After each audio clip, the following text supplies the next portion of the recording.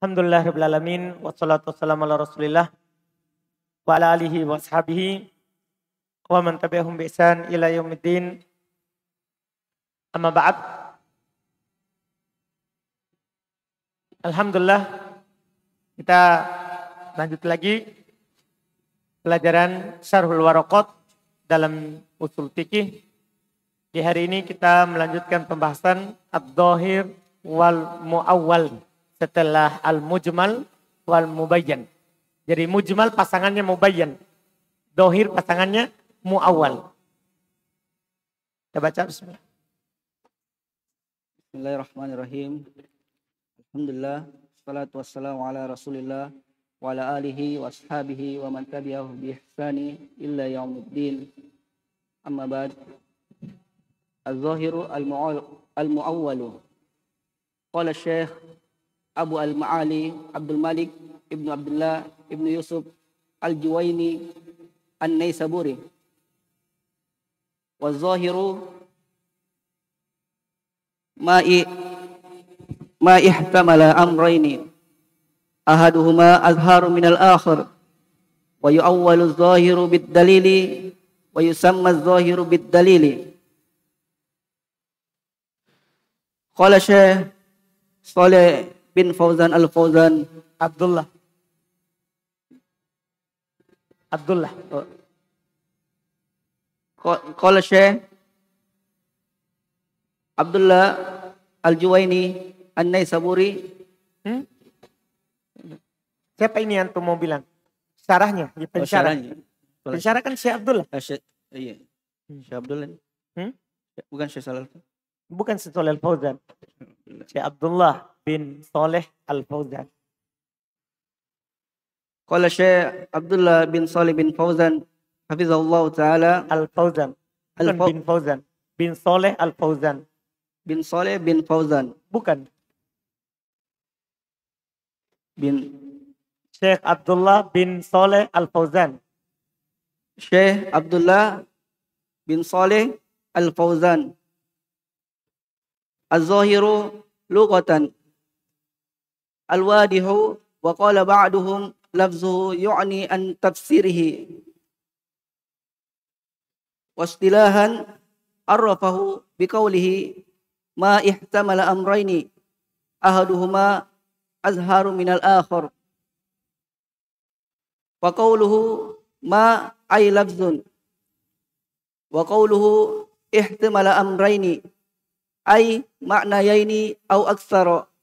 Lianna zahira qad yakuna lahu iddatu ihtimalatin. Huwa fi ihdiha azharu. Fi? Ahadiha huwa fi ahadiha azharu. Wa hadha yukhrijun nassa lima taqaddama. Wa qawluhu ahaduhuma ay ahadu makna yaini wa huwa al makna alladhi yatabadaru ila dhihni bimujarradi bimujarradi samai. Wa hadha yukhrijul mujmala li'annahu la yatabadaru fihi wahidun minal yaini baik. Kata penulis rahimahullahu taala adh-dhahir wal muawwal. Dhahir dan muawwal wa dhahir dhahir itu adalah mahtamala amroin apa yang memiliki ihtimal dua perkara. Tapi ahaduhuma adhar minal akhar. Salah satunya itu lebih nampak daripada yang lain. Itu namanya dohir. Beda kalau mujmal. Kalau mujmal, apa yang memiliki makna yang sama. Paham kan? Makna yang sama, tidak ada yang lebih roji. Kalau ini, dia memiliki ihtimal, ya, memiliki ihtimal, tapi salah satunya lebih roji. Ya. Daripada yang lain. Salah satunya lebih roji daripada yang lain. Lebih nampak. Daripada yang lain. Ini kata beliau. Wa yusamma ad-dhahir. Terus wa yu'awwal ad-dhahir bidalil. Kemudian yang dohir itu bisa ditakwil dengan dalil. Maksudnya dari makna yang dohir, makna yang roji bisa dipakai makna yang marju, yang tidak roji. kalau ada dalil. Paham maksudnya? Jadi ini nas dua maknanya. Ada makna dohir nampak, kita baca langsung kita tahu. Dan ada makna marju, kemungkinan lain. Kemungkinan lain ini bisa jadi dohir, bisa jadi lebih kuat. Kalau ada dalil yang menguatkan. Kalau ada dalil yang menguatkan. Adapun makna yang dohir, tidak perlu dalil. Tapi kalau makna yang tidak dohir, butuh dalil untuk menguatkannya. Wa yusamma dohir bidalil. Dan dinamakan dohir kalau ada dalilnya. Dohir dengan dalil. Maknanya jadi dohir kalau ada da dalil. Dohir secara bahasa adalah al-wadih. Yang jelas. Waqala ba'duhum berkata sebagian mereka. Labduhu yugni an tafsirihi. Lapatnya mencukupi dari tafsirnya. Artinya tidak perlu ditafsirkan sudah lapatnya. Wastilahan sementara secara istilah. Arropahu biqaulihi. Penulis mengartikan dengan ucapannya. Mahtamala amroini ahaduhuma adharu minal akhor. Apa yang kemungkinan dua perkara tapi salah satunya lebih nampak daripada yang lain. Faqauluhuma perkataan penulis ma maksudnya ay lafdun maknanya lafad. Wa dan perkataannya ihtamala amroin mencakup kemungkinan dua perkara ay makna yain au aksar yaitu dua makna atau lebih. Lianna dhahir qad yakunu lahu iddatu ihtimalat. Karena dhahir itu kadang memiliki banyak ihtimal. Banyak kemungkinan. Iya. Wahwa fi ahadiha adhar. Dia pada salah satunya lebih nampak. Wahada yukrijun nassa. Ini mengeluarkan yang nas kelima takodam terhadap dengan alasan yang telah lewat. Karena kalau nas kan tidak memiliki ihtimal. Iya kan? Telah lewat. Iya. Waqauluhu dan perkataan penulis ahaduh ahadihima ahaduhuma salah satunya dari keduanya ai ahadul maknayain maksudnya salah satu dari dua makna itu wa huwal makna alladhi yatabadar ila dhihin bimujarrodis sama yaitu makna yang langsung muncul di pikiran diingatan ketika mendengarnya. Itu makna yang nampak. Apa maksudnya? Ketika antum disebutkan sesuatu, langsung ada di pikiran antum maknanya, maka itu namanya makna dohir. Paham ini? Misalnya begini, begini. Kalau saya bilang begini sama antum, roa itu asadan, saya lihat singa. Nah, yang langsung muncul di otak antum apa? Hmm? Singa. Tapi kan kemungkinan itu adalah lelaki pemberani. Paham maksudnya? Paham maksudnya ini? Jadi kan ketika saya bilang saya melihat singa. Maka makna yang dohir yang langsung muncul di ingatan antum adalah singa. Hewan yang buas. Kan begitu? Tapi ada makna yang marju. Kemungkinan lain. Yang saya mau katakan saya melihat lelaki pemberani. Tapi saya sebut dia si singa. Kan begitu? Paham ini? Jadi ada ihtimal, ada kemungkinan. Tapi yang dohir itu yang langsung muncul di pikiran antum ketika mendengarnya. Iya. Wahada yukrijul mujmal. Ini mengeluarkan yang mujmal. Ini mengeluarkan yang mujmal. Kenapa? Li'annahu la yatabadar fihi wahid minal maknain. Karena dia, dia tidak yatabadar padanya salah satu dari dua makna. Iya kan? Yang mujmal kemarin yang punya ihtimal dan tidak nampak mana yang dohir kecuali dengan nas yang lain. Hmm. Qala Syekh Hafizahullah Ta'ala wa qawluhu azharu min al-akhar للظهور أسباب منها. الأول الحقيقة ويقابلها مجاز. له رعيت أسدا فهو يحتمل أن يكون مراد الحيوان مراد الحيوان المفترس. الحيوان. مراد الحيوان مفترسا وهو الظاهر لأنه موضوع له. wa yahtamilu ar-rajulu syuja'a wa hamluhu alaihi ta'wilun la yuqbalu illa biqarinatin. Hmm. Perkataan penulis azhar minal akhar lebih nampak daripada yang lain yaitu satu maknanya lebih jelas lebih nampak daripada makna yang hmm. yang lain kata beliau liduhur asbab untuk makna dohir itu ada sebab-sebabnya Minha di antaranya al-hakikoh. Karena memang itu hakikatnya. Itu makna yang diletakkan untuknya. Sudah lewat pembahasan kita kan ada hakikoh, ada ma, majaz. Sudah lewat? Al-hakikoh maksudnya mawudi Allahu li muayyan, maknan muayyan. Apa yang diletakkan untuk makna tertentu. Sementara majaz ia lafzul musta'mal fi ghairi mawudi Allah. Majaz adalah lafaz yang dipakai pada selain yang digunakan untuknya. Yang sudah lewat bersama kita.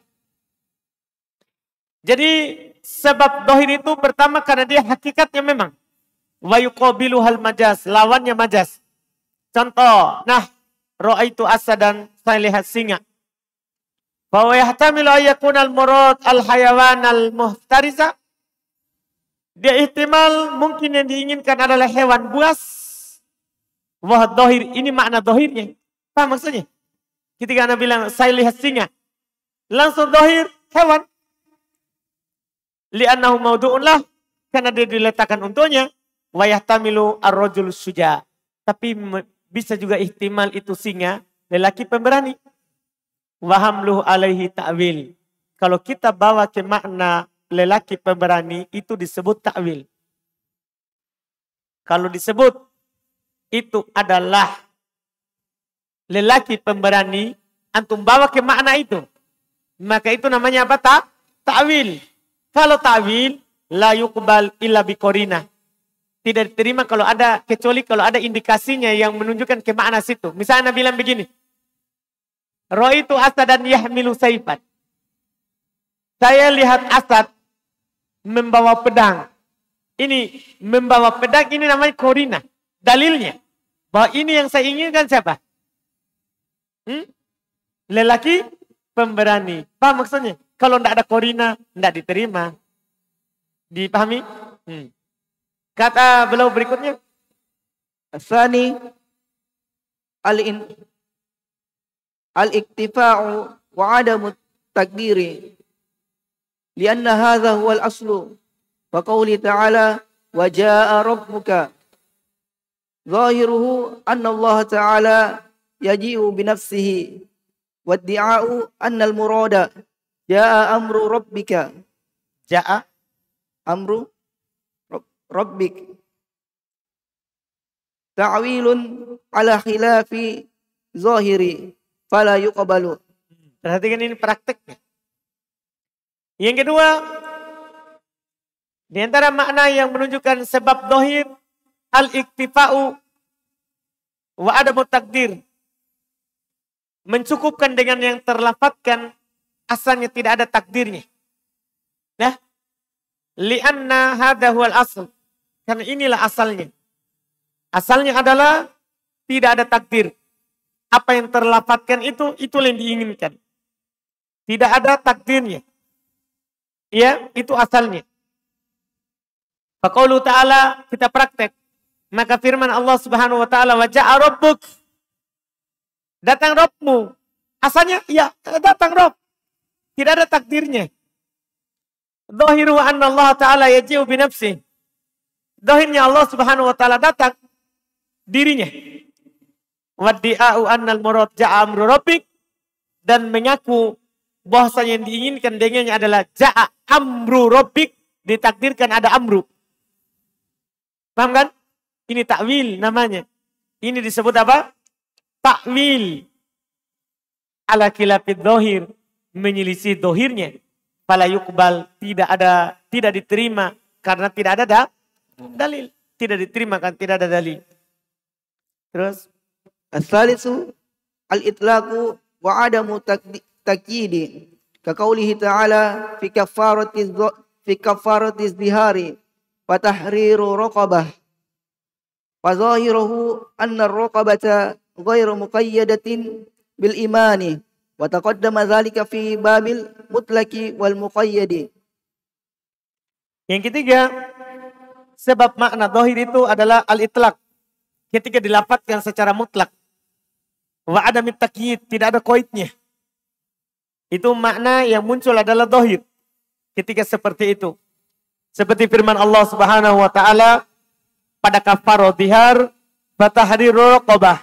Maka bebaskanlah budak. Maka bebaskanlah budak. Kata beliau, bebaskanlah budak. Dohirnya, budak di sini tidak dikoit dengan kata iman. Dan telah lewat hal itu pada pembahasan mutlak dan mukoyat. Paham kan? Jadi lapat yang mutlak itu namanya lapat yang dohir. Dipahami? Antum bisa arahkan ke makna lain kalau ada apanya? Dalil yang bisa mengarahkan ke sana. Paham ya? Hmm. Rabi al-umumu fa'alfazu al-umumi zahiratun fihi ma'ihtimali khususi wa hamluha wa hamluha 'ala al-khususi ta'wilun wa min amsalati amsilati Wa min amsilati zahiri ma warada fi hadithil Bara'i Ibni Azib radhiyallahu anhu. Ibni Azib. Qala su'ila Rasulullah sallallahu alaihi wasallam annal wudu'i min al hmm. annal wudu'i min luhumi. Anna anna di antum? Antum apa tertulis? Annal wudu'i min luhumi. Hamzah. Hamzah.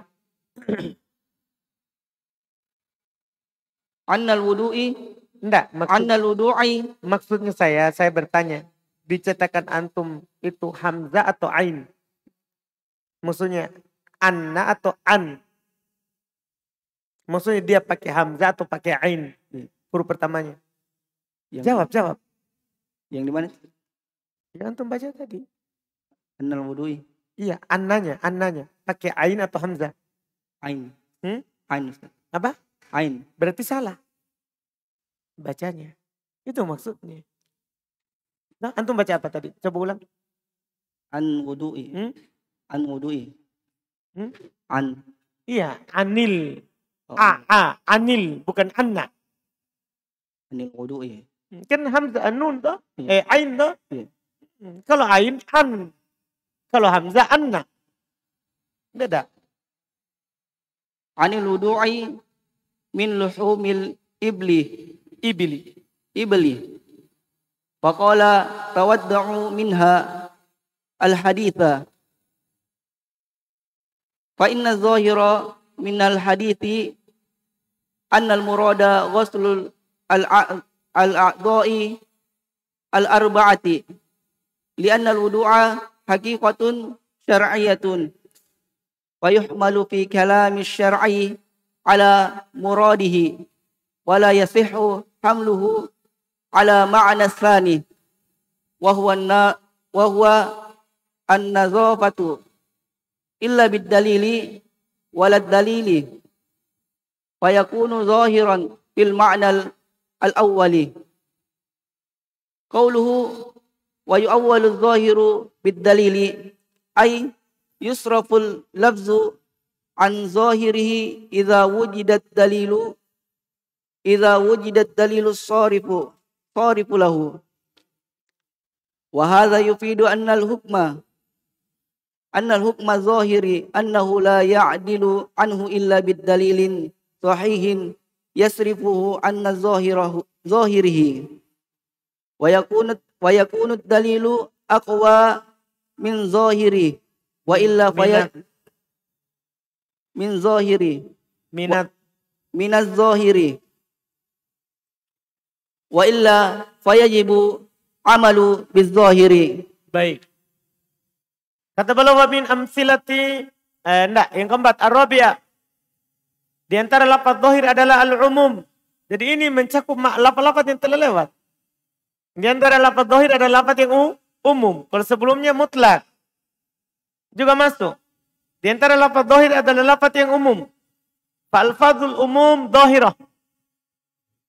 Maka lafaz-lafaz umum disebut lafaz yang zahir.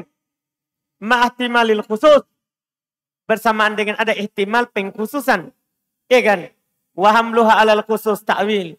Antum bawa ke makna yang khusus itu disebut ta'wil juga. Cuman kan kalau ada dalil maka diterima, kalau tidak ada dalil maka tidak diterima. Wa min amtilati dhahir. Termasuk contoh dhahir. Mawaruda fi hadith al-Bara ibn Azib. Apa yang datang dalam hadith al-Bara ibn Azib? Beliau berkata, Su'ila Rasulullah SAW anil wudu. Rasulullah SAW ditanya tentang wudu. Min luhumil ibil dari daging unta. Fakal kata Nabi tawaddu'u minha. Berwudulah darinya. Fa inna dhahir minal hadith. Yang dhahir dari hadith ini adalah. Annal murada. Bahasa yang diinginkan adalah. Ghuslul a'do'il arba'ah. Mencuci empat anggota wudhu. Iya. Mencuci empat anggota wudhu. Wajah, tangan sampai ke siku, usap kepala, mencuci kaki. Itu maksudnya. Dohir di sini. Karena ketika kita bilang wudhu lah darinya. Li'anal wudu'a hakikatun syariatun. Karena wudhu itu kan kata hakikat syariah. Payuhmal fi kalami syar'i ala muradihi.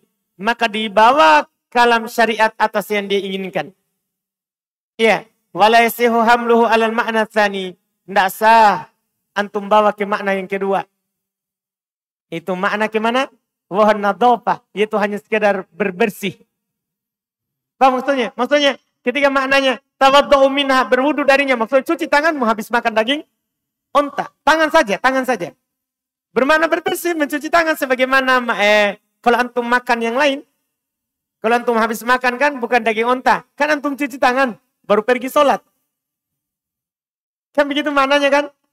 Itu makna, itu makna ihtimal. Tidak boleh antum bawa ke makna itu illa bidalil kecuali kalau ada dalilnya wala dalil tapi di sini tidak ada dalil. Fayakunu dohiron fil makna awal maka dia dohir pada makna yang pertama. Di sini antum amalkan makna yang pertama. Antum amalkan makna yang pertama. Terus Qala Syekh Oh, masih ya? Belum ya? Kalau perkataan penulis wayu awal dohir bid dalil. Dan ditakwil dohir itu dengan ada dalil. Maksudnya apa? ayyusraful labdu an dohirihi yaitu dipalingkan lafat dari dohirnya idza wujidat dalilu soripulah kalau ada dalil yang memalingkannya wahada yufidu dan ini memberikan faedah anna hukmat dohir annahu la yu'dal anhu bahasanya hukum dohir tidak boleh berpaling darinya illa bidalilin sahihin kecuali dengan dalil yang sahih yusrifuhu an dohirihi yang memalingkannya dari dohirnya wa yakunu dalil aqwa minat dohir itu syaratnya. Dalilnya harus lebih kuat daripada yang do dohir. Baru boleh antum berpendapat dengan pendapat yang lain. Wa illa dan jika tidak fayajibul amal bid dohir maka wajib antum beramal dengan do dohir itu cara berdalil dari sinilah nanti antum bisa kuatkan pendapat kalau ada perselisihan. Kalau ada perselisihan.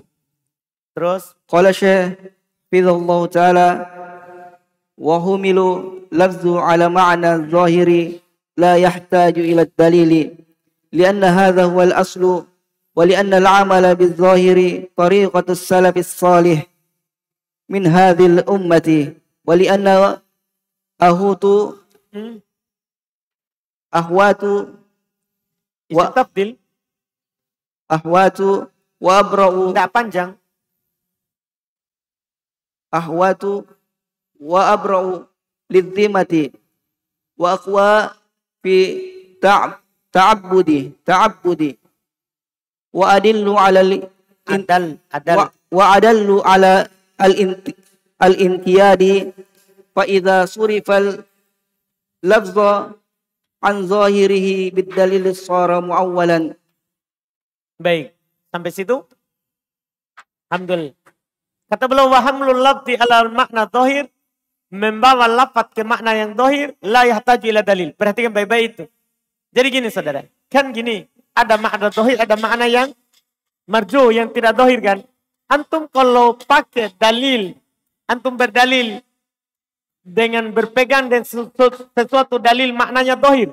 Tidak butuh antum ditanya, apa dalilnya kalau antum berpegang dengan makna itu? Tidak perlu, kan itu asal. Beda kalau antum berpegang dengan makna yang tidak dohir. Pahami? Maksudnya tadi seperti tawaddu'u minha. Berwudulah dari daging unta. Antum maknakan wudu maksudnya berwudu. Itu udah butuh dalil. Tapi kalau antum bawa ke makna mencuci tangan saja. Antum butuh dalil. Paham maksudnya? Jelas kan? Iya. Sama dengan pembahasan. Antum beramal dengan umum. Tidak butuh dalil. Tapi kalau antum bermakna mengatakan ada makna khusus. Butuh dalil. Apa dalil khususnya? Paham maksudnya?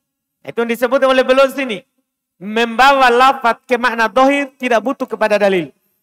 Karena inilah asalnya. Wali annal amal wali annal amala bidohir tariqatu salafus soleh.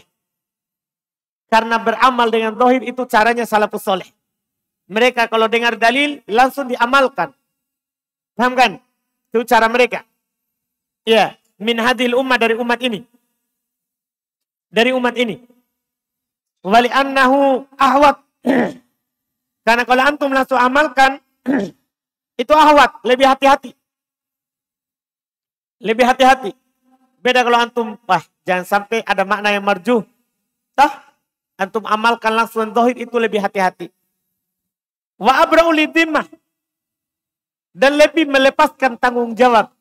Karena kalau antum sudah amalkan langsung, langsung gugur kewajibannya. Wa akwa abud dan lebih kuat dalam penghambaan.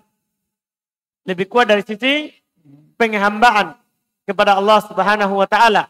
Wa adal alal inqiyad dan itu lebih menunjukkan bahwa antum tunduk kepada perintah Allah.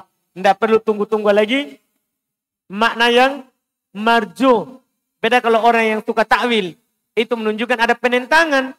Anda paham kan? Karena dia paksakan sesuatu yang memang bukan makna yang do, dohir. Anda paham kan? terlalu memaksakan diri untuk menta mentakwil. Beda. Kalau kita langsung dengar, langsung kita lakukan atau langsung kita yakini, itu lebih menunjukkan bahwa kita adalah tunduk terhadap ayat Quran atau hadithna Nabi SAW. Faidah suri palabdu an dohirihi bidalilin soro muawala. Kalau dipalingkan lapat dari dohirnya dengan dalil maka jadilah muawal namanya. Apa itu muawal? Kita ambil besok. Alhamdulillah. Kita cukupkan, kita sedikit-sedikit yang ini ya. Karena banyak suara. Alhamdulillah. Subhanallah. Alhamdulillah. Ilaha illa anta